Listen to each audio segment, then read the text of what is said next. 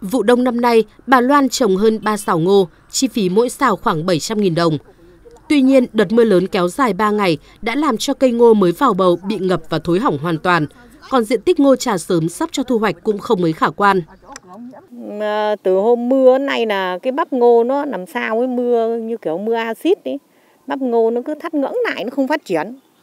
Thì qua cái đợt mưa lớn vừa qua thì xã Điểm Đông được thiệt hại khoảng 50 ha là các cái cây màu mới trồng 15 ngày đến ờ, đang chuẩn bị thu hoạch. Chủ yếu là cây ngô ngọt ấy, nhân dân trồng sớm và đã sắp đến thời gian thu hoạch nhưng mà thiệt hại rất là lớn.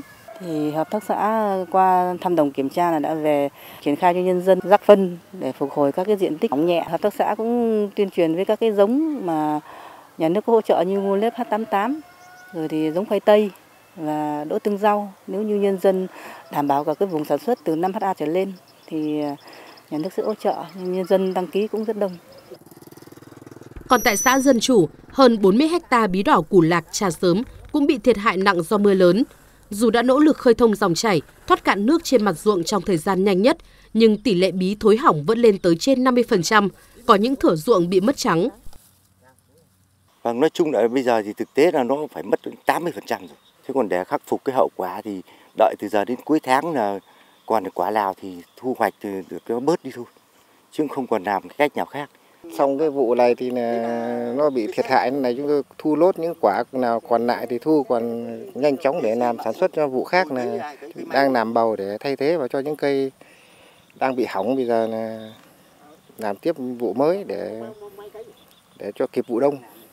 Cái diện tích coi như bí già một thu hoạch rất là kém và chúng tôi cũng đang cố gắng khắc phục để coi như là còn lại những cái quả nào nó không thối thì chúng tôi tổ chức thu hoạch.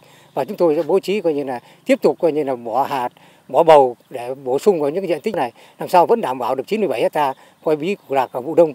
Và chúng tôi phấn đấu trồng làm sao đến mùng 10 tháng 10 là cơ bản là xong bí củ lạc và những cây vụ đông ướm. Trước diễn biến thời tiết còn phức tạp, huyện Hưng Hà đã chỉ đạo các xã thị trấn vận động nông dân tranh thủ thời tiết tạnh giáo để nhanh tiến độ thu hoạch lúa mùa, chủ động khơi thông dòng chảy, che đậy cây non trong bầu, bảo vệ sản xuất vụ đông. Đối với diện tích cây màu mới trồng, cần kiểm tra thu gom các cây bị thối để tránh lây lan, chăm bón kịp thời diện tích bị ảnh hưởng nhẹ. Tuyên truyền hướng dẫn nông dân tập trung chăm sóc cây màu, khắc phục hậu quả sau mưa úng nhằm bảo vệ sản xuất và tiến hành gieo trồng cây vụ đông theo kế hoạch đã đề ra.